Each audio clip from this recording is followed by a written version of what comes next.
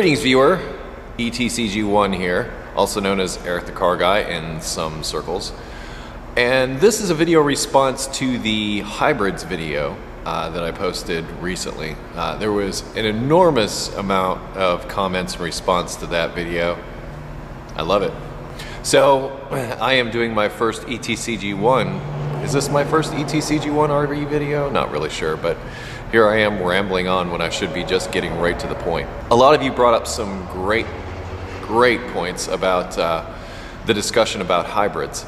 Some of you actually own them and say that, you know, they work really well for you. Others have very strong opinions about hybrids in general and would like to see them go away. And there was a huge majority of people that talked about diesel.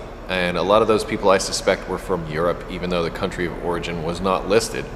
Uh, and, and I can see that because, uh, at least from what I know, Europe's been pursuing diesel for quite some time.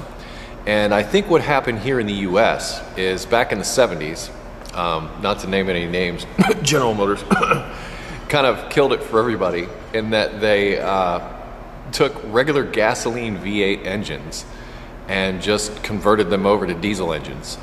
This was an epic fail. And I think it really turned Americans off to the whole diesel market, or I think we would be driving a lot more diesel vehicles today uh, had that not occurred. But you know, we're innovators. We try things. Doesn't always work. Well, you know, you know. So a lot, a lot of those uh, vehicles that had those special diesel engines came back into dealerships and had them swapped out for standard gasoline engines, and everybody was happy. And we just decided or at least seemed to decide just not to talk about diesel anymore after that, other than, you know, the, the foreign makes uh, to the US. But a lot of German, a lot of rabbits uh, that came in, a lot of Mercedes. Um, I'm actually considering getting a diesel for my next project car uh, outside of the whole Subaru thing. Uh, just for this very reason, they are quite popular and they do get really great gas mileage, if you want to call it gas. Should we call it diesel mileage? Not real sure. My entire point was not so much speaking to hybrids themselves, but more to the fact that there was a lawsuit that was brought up against Honda for selling a product that apparently did not do what it was advertised to do. Also, several of you brought up the fact that it's the EPA that dictates the fuel mileage or, or, gets those fuel mileage ratings and not the manufacturer. The thing that got to me is it seemed like that there was a lot of big business that was involved and they were able to step in and say, you know what, we're not going to open this can of worms. We're going to avoid this whole situation altogether. I personally don't know exactly what happened with that whole situation, but the end result is is that she, her decision was overturned. And to me, that's disturbing as a, as a consumer because if I purchase something and expect it to be, you know, to perform a certain way and it doesn't live up to those perform that, that advertised performance, I'm going to have issue with that. And that, that was kind of at the core of the last video. But we seem to have, have sort of splintered off into a discussion about hybrids and how they work and, you know, uh, fuel costs.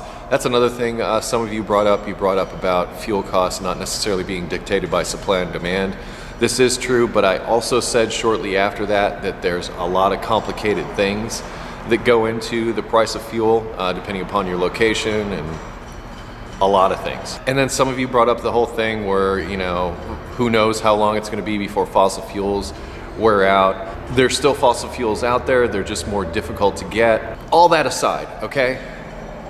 I would say that there is a fuel problem. And getting back to the whole supply and demand thing, what I was getting at was places like India and China with a growing population of drivers, people using up more of that resource I'm going to say that that resource is going to have a higher demand and a lower supply because of that. That's just, to me, that just is common sense. So if there's more people wanting the same thing, there's going to be less of that thing to go around, therefore the price of that thing is going to go up. Set aside any of the other political, financial things that go on in the world. Where does this leave us? This leaves us in a place to where we need to come up with some kind of solution. And are hybrids the solution? I don't know. I think they're a step in the right direction. I also like diesel. Uh, it's an existing technology, it's proven technology, it works with a lot of the existing everything that we have.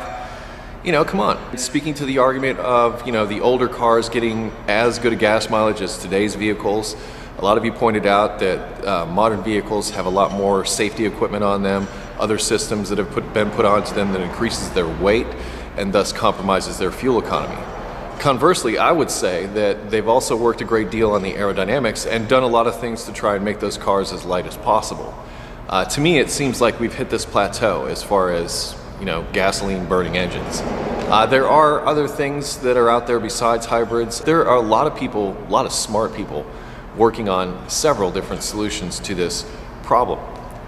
And I, I like this discussion because this brings it to the forefront. It's not something we're just going to forget about because we as technicians are going to have to deal with this as well because when the general public starts driving vehicle X, we're going to have to learn how to fix it because it's going to break.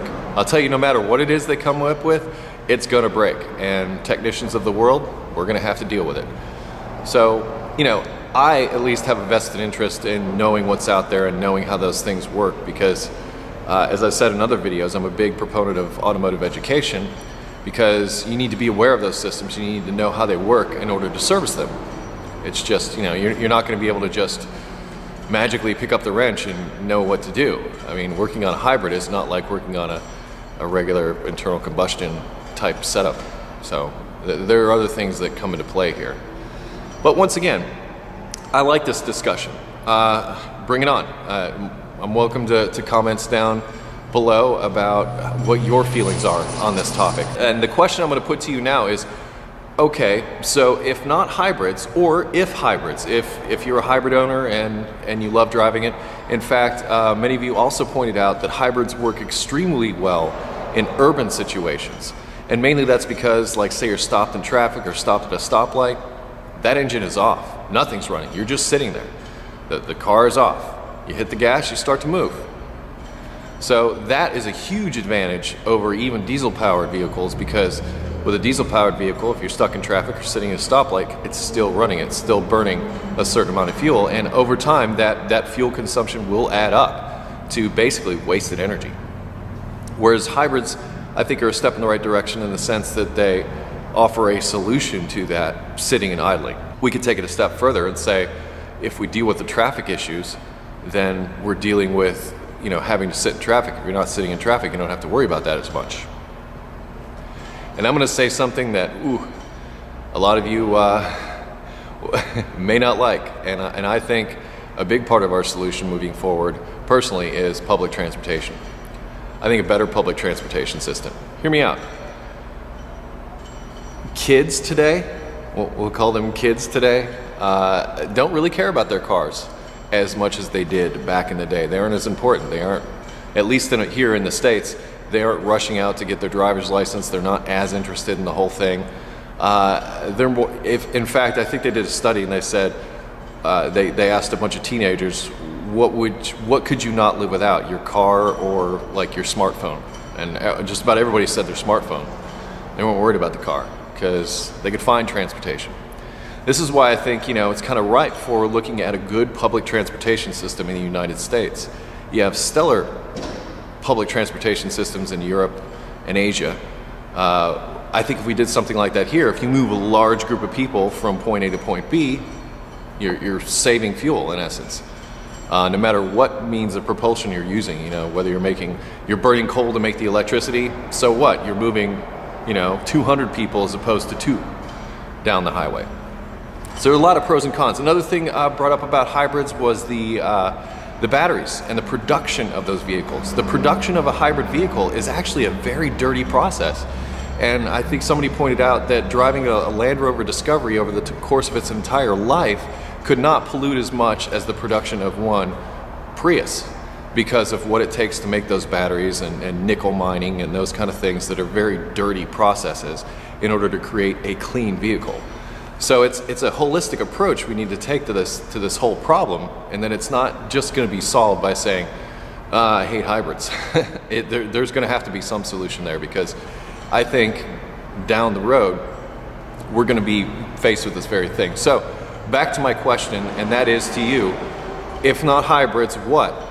is your solution to transportation needs in the future because we also want to do what we're doing. Uh, but it looks to me like we're going to be doing it differently, and that's change. That's just part of life. It's going to happen. So, if you were the guy or girl to come up with a solution and say, this is what we should do, what should we do? I'd love to hear about it in the comments. I'm Eric the Car Guy. You can always find me at ericthecarguy.com, uh, Facebook, Twitter, Google+. You can also find me there. Be safe, have fun, stay dirty. Let's talk about it. See you later.